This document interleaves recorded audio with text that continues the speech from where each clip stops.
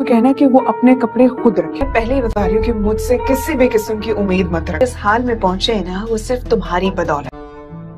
क्यों करते हो?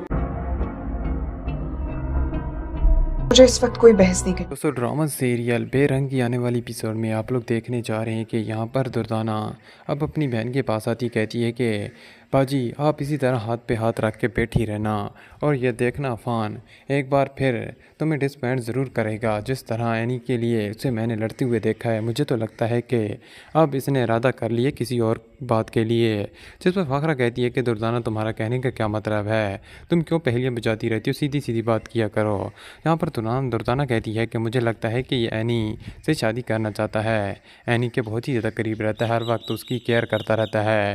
फाखरा कहती है कि, नहीं नहीं यह सिर्फ़ अपने भाई की वजह से एनी का साथ दे रहा है। वो समझता है कि एनी के साथ हम सब मिलकर बहुत ही बड़ी ज़्यादती कर रहे हैं, इसलिए उसका हमदर्द बना हुआ है, बाकी कुछ भी नहीं है। तुरताना कहती है कि नहीं, बाजी आपको गलत लगता है ऐसा। मैं जो देख रही हूँ, वो आप ही देखें। अफान, ज़रूर एनी से मोहब्बत करने लगा है। और ये बात मैं तुम्हें कन्फर्म करके देती हूँ। अगर आप गौर करें तो आपको भी इस बात पर ज़रूर शक होगा। यहाँ पर अब फ़ाखरा बहुत ही ज़्यादा परेशान हो जाती है, क्योंकि फ़ाखरा को भी अब ऐसा ही लगता है कि अफ़ान अब एनी के बहुत ही ज़्यादा करीब होने लगा है। दोस्तों ड्रामा सीरियल बेरंग बहुत ही ज़्यादा इंटरेस्टिंग बन चुका है। कौन कौन चाहता है कि एनी और अफ़ान की शादी हो जानी चाहिए? वीडियो को लाइक कर हमारे चैनल को सब्सक्राइब करना बिल्कुल ना